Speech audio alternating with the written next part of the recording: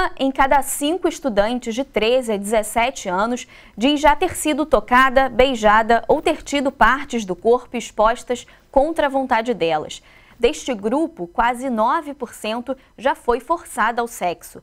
Os dados foram obtidos pela Pesquisa Nacional de Saúde Escolar do IBGE, que colheu informações exclusivas de estudantes da rede pública e privada. O resultado aponta que a violência sexual, infelizmente, está presente na vida de meninas e também de meninos.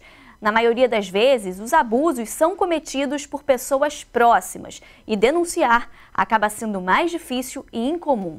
No Papo de Juventude de hoje, vamos falar dos impactos do abuso sexual na vida destes jovens, como identificar fatores de risco e quais ações são necessárias na sociedade para proteger estes adolescentes. Para a gente ter essa conversa, eu recebo Cristiane Soares, pesquisadora do Pense BGE, que vai dar mais detalhes deste trabalho que aponta dados de violência sexual entre estudantes. Também aqui comigo Lucimeia Schwick, fundadora do projeto Diga Não ao Abuso Sexual e também Maura Oliveira, escritora e ex-menina de rua.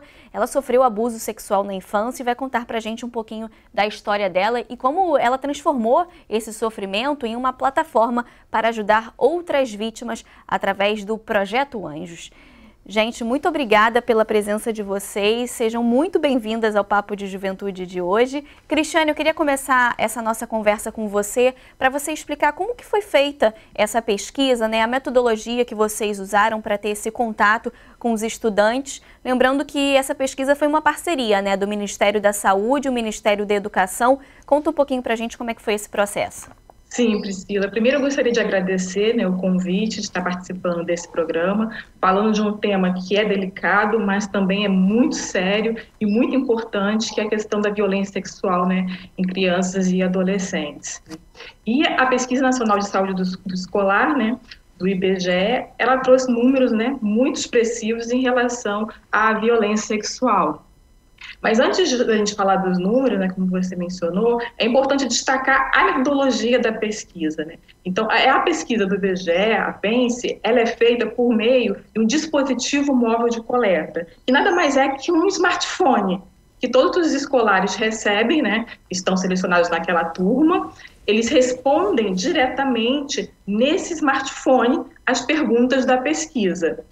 Mas antes deles responderem, é, os técnicos do IBGE, né, ao, ao iniciar né, a pesquisa, tem todo um procedimento né, que a gente adota no sentido de sensibilizar o escolar para a importância da pesquisa e dos temas que são abordados. Né? Assim como tem um termo que eles né, leem em relação a, a participarem da pesquisa. Né? Se eles querem ou não participar. E a gente tem uma adesão muito alta em relação à participação da pesquisa. Ou seja, Cristiane, o objetivo de vocês é fazer essa, foi fazer essa pesquisa de forma virtual aí, né, pelo celular, esse dispositivo, para deixar esses alunos, esses estudantes mais à vontade, justamente para contar de repente episódios de abuso, né, de violência, diferente de uma pesquisa normalmente feita pelo IBGE, que tem um contato ali presencial, né, com, com os técnicos, como você falou.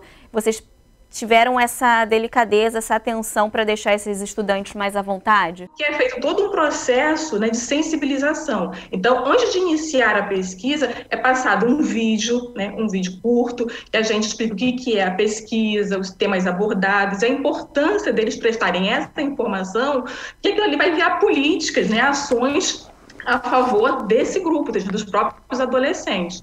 Então, feito isso, cada escolar, eles recebem um dispositivo móvel de coleta, um smartphone. Sim. Então, é feito presencialmente nas escolas, eles recebem e ali eles vão responder as perguntas. E a gente explica que aquilo ali é de forma sigilosa, ou seja, nem os técnicos, ninguém tem informação, né, que eles prestam ali, é altamente sigiloso e vira estatística. Então, é importante, a importância da pesquisa é isso, reconhecer essa realidade dos escolares de 30 a 17 anos. E vamos então destacar esses dados né, é, que vocês observaram. Como eu falei aqui na abertura do programa, uma em cada cinco meninas aí entre 13 e 17 anos já passou aí, vamos dizer, por uma importunação sexual, né? Mas a gente não pode esquecer também que os meninos também passam por isso, né? Que a gente acaba destacando mais as meninas, mas na pesquisa vocês também conseguiram identificar a presença de, de meninos, de casos em meninos?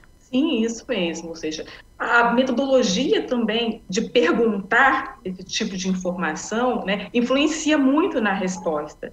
Então, você identificar os atos né, de você beijar, tocar, manipular, e principalmente que isso seja contra a vontade da pessoa, esse é um aspecto importante. Então, os atos são identificados, né, de acordo com uma escala de gravidade, digamos assim, embora eu sempre ressalte que tratando de criança ou de adolescente, né, é sempre grave, né, a violência sexual que a gente está colocando. E aí, eles recebem, né, eles leem aquela informação e aí, com isso, eles começam a perceber o que, que é a violência. Porque muitas das vezes, se a gente perguntar diretamente, você já foi violentado, coisa assim, as pessoas não conseguem entender, né, isso não somente em criança e adolescente, mas isso também se reflete na população adulta. Então, a metodologia de captação da informação é extremamente importante. E com isso você consegue também identificar que foi maior número, né? Entre as meninas, como também entre os meninos, esses casos ocorrem, embora um pouco menor, né?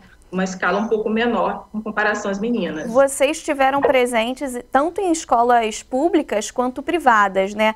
É, qual a comparação aí, os dados que vocês podem, que você pode ressaltar é, desse cenário, né? Dessa diferença aí socioeconômica, vamos dizer assim, existente entre essa, essa população de estudantes de uma rede pública, de uma rede privada? O que, que você consegue destacar para gente? A violência, ela ocorre, eu sempre afirmo que ela ocorre independente da classe né, social. Embora os resultados da PENSE mostrassem um pouco mais elevados para os escolares da rede privada, mas quando a gente fala da questão da relação sexual forçada, pelo contrário, ele foi um pouco mais elevado na escola pública, né, nos escolares da escola pública. Então, eu digo, a violência, na verdade, ela está presente, né, em todos os, os escolares, né, tanto da rede pública quanto da rede privada. Isso pode acontecer em qualquer adolescente, independente do nível social e econômico. Maura, é, quando a gente fala desses dados, né, dessa realidade aí, tanto para jovens, é uma realidade que não é tão distante para você, né? Principalmente quando a gente vai aí para a questão de crianças, né? Você desde o início aí da sua vida você já passou por, por situações, por provações. Eu queria que você contasse um pouquinho é, da sua história para gente quando se fala nessa questão de abuso sexual, né? O que, que aconteceu com você, criancinha, que você teve que enfrentar aí ao longo da vida?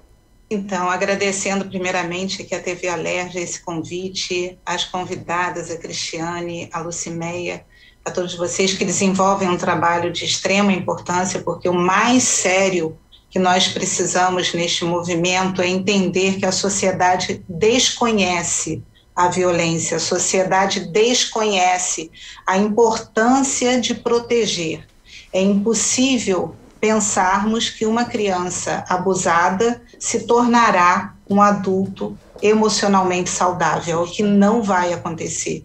E dentro dessa expectativa, principalmente do que a Cristiane citou, é, dos meni das meninas, né, uma cada menina, uma cada cinco meninas pode ter sido abusada. E quando nós pensamos que eu fui uma dessas meninas há mais de 30 anos atrás, e eu vivenciei tanto a infância quanto a adolescência. Dos 6 aos 16 anos, eu fui abusada sistematicamente por dois pedófilos, dois abusadores, dois violentadores e ladrões da infância. E é essa, infelizmente, a realidade que, embora tenha passado tantos anos, eu tenho hoje 52 anos, essa é a verdade, infelizmente, cruel que acontece diariamente com as nossas crianças. O abusador não toca e não fere apenas o corpo, o que já é horrível, é nojento, é asqueroso, é dolorido, ele consegue ultrapassar o corpo. Daí a importância de ensinarmos, porque se analisarmos o tempo que eu existo nessa vida lutando contra o abuso sexual, contra a violência contra as crianças, é fácil detectar onde é que está o erro né, dentro dessa nossa história, dentro dessa nossa cultura de abuso. Não deu certo até aqui. porque eu não sou a única que falo da história. Hoje nós estamos conseguindo abrir a boca de muitas pessoas que carregam nas suas histórias uma mala pesada de dor, de culpa, de vergonha, porque são esses os sentimentos que passam a fazer parte da vida de alguém que foi abusado. Maura, só para a gente destacar, e acho que a Cristiane vai poder ajudar a gente nessa questão da pesquisa também, é, quando você conta da sua história, voltando para a questão, quando você fala aí do, do abusador, né?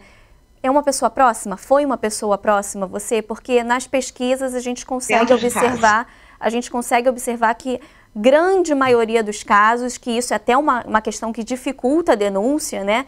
É porque são pessoas próximas, parentes, amigos de, de, de familiares, dos pais, enfim, pessoas que estão ali no, no seu convívio. Como que foi no seu caso? dentro de casa, da mesma forma. Cerca de 90% dos casos até hoje ocorrem dentro de casa com pessoas muito próximas da criança, inclusive com vínculos de afeto, seja o pai, o padrasto, o irmão mais velho, o tio, o padrinho, o vizinho que infelizmente as mães deixam seus filhos, aqueles que participaram da gestação, que viram a criança desde o nascimento.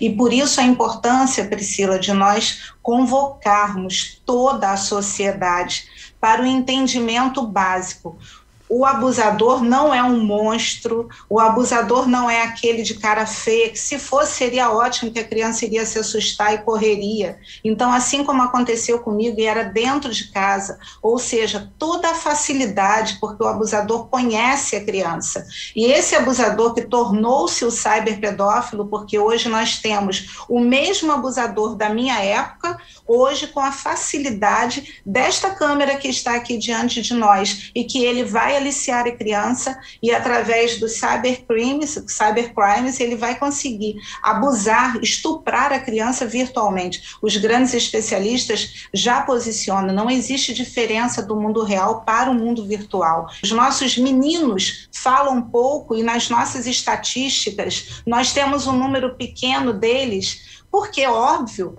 culturalmente, na nossa sociedade machista, esse patriarcado não permite que o menino fale que foi abusado, que teve que fazer um sexo oral no homem, que teve que, infelizmente, é, ter ocorrido nele uma conjunção carnal no ânus.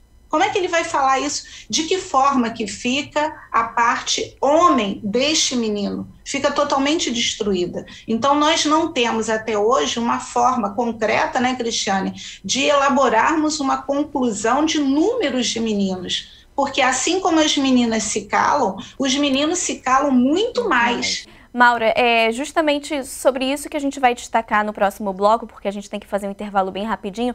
Você tocou em pontos importantíssimos, que é o esclarecimento desde pequenininho, né? A gente falou aqui da pesquisa do IBGE, que trata aí de meninas e meninos um pouquinho mais velhos, aí entre 13 e 17 anos, mas é inquestionável a necessidade de ter esse papo, essa conversa desde criancinha. Você que está acompanhando a gente, não sai daí não.